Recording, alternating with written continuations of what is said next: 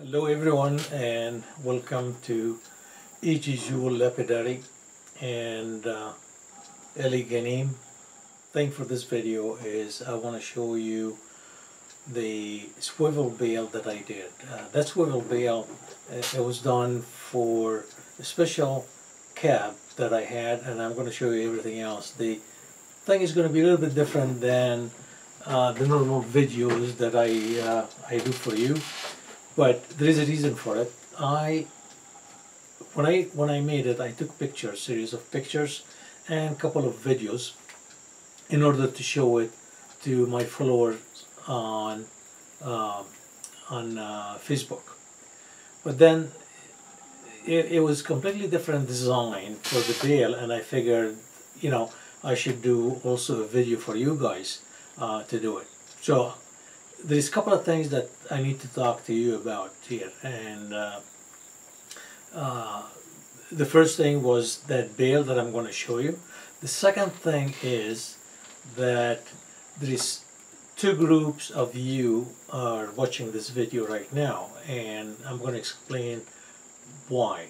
Uh, the first group, uh, they're following me on the channel that's called E.G. Jewel Lapidary uh, and this was the initial one that I created a while back. Uh, then the second group are watching this video on Eli Ganim, which is using my name uh, for that channel. But why do I have two channels with the same videos? Uh, here's the reason.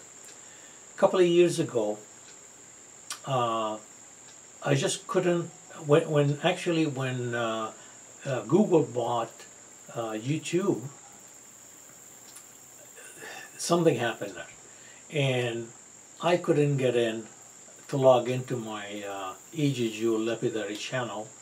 And I tried uh, two months. For two months, I was just trying to get contact Google or talk to anybody there, but nothing happened. Uh, and I couldn't. So at the end, I decided, okay, I'm going to create another channel and the good thing is I had all the uploaded YouTubes. Uh, I had them on my computers. And uh, so I used them again into the new channel. So all the new people or, or the new group that on my new channel, which is Ganim, uh, now they can watch also the old YouTube uh, videos. But here's the funny part. Two months ago, uh,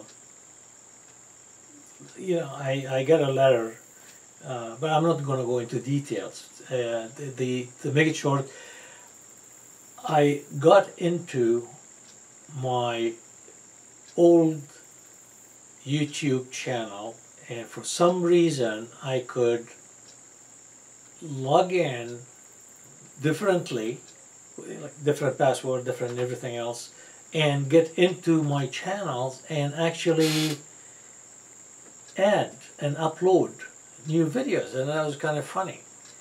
But here I am you know having two channels right now and I tried to merge both of them together but uh, YouTube will not allow merging two channels together. So um, so what happened now is when I make a new video like this one here it's going to be uploaded on uh, the old channel, which is uh. Jewel Lapidary. Also, I have to upload it onto the new channel um, for the new channel subscriber to be able to see it.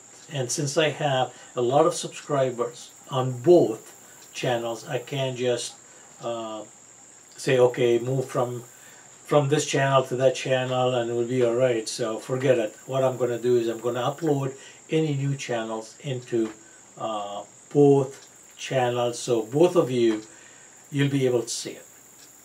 And uh, I believe some of you especially on the old channel which is uh, uh E.G. Jewel Lapidary um, it's been for a while since you get any notices from YouTube saying hey uh, here's a new uh, video. You gotta go and watch it.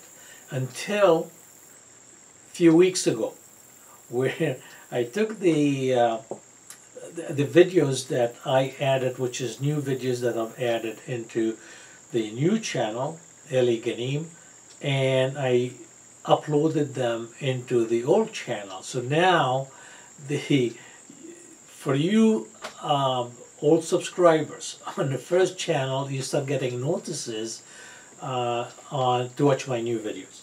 So I hope that this will uh, get you going again, and it's not because um, I wasn't adding any uh, new videos for you guys, but it was this is the problem I uh, I had is I couldn't log in.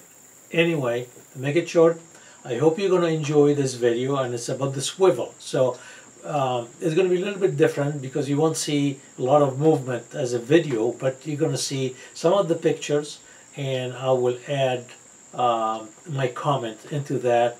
This, like I mentioned, there's a couple of uh, uh, small videos that's going to show you uh, how things is moving and uh, working. So I hope you enjoy it. So stick around.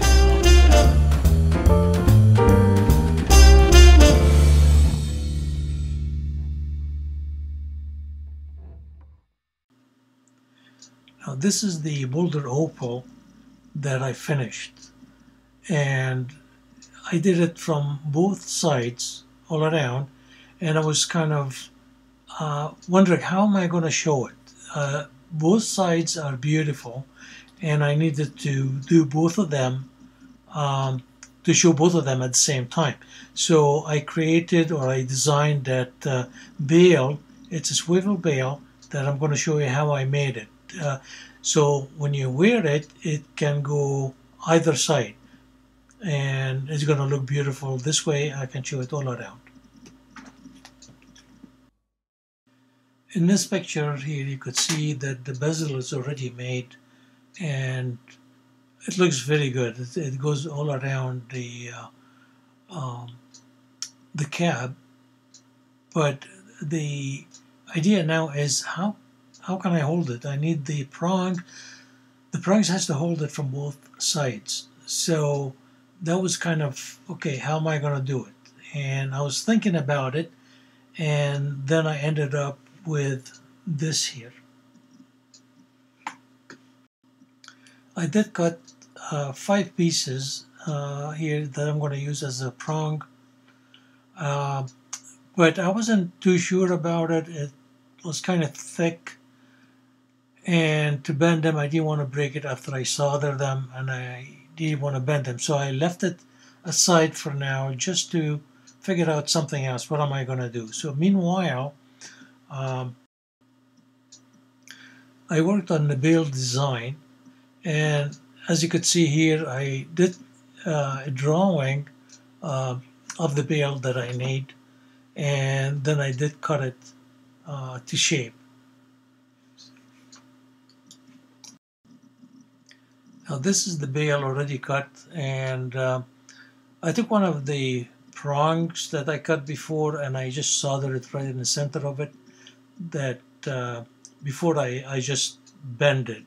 Uh, and that's gonna look that's gonna be in the front. In order to get the bail to swivel I soldered the bail over a tube and I had a pin with a head that uh, will fit inside that tube so the bail can actually swivel around that pin. Now here you can see how it actually works. So the bail actually will swivel around that pin and uh, the pin itself is going to be soldered into the bezel. Um, and we're going to get to that later on and I'm going to show you. By that time, uh, I figured out what I was going to do with the prongs. And I took the same square wires that I used for the pin and I got them together as you could see like that and then I soldered them.